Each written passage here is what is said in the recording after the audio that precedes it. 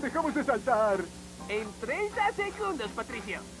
Quizá ordenaron una provisión vitalicia de jabón espumoso.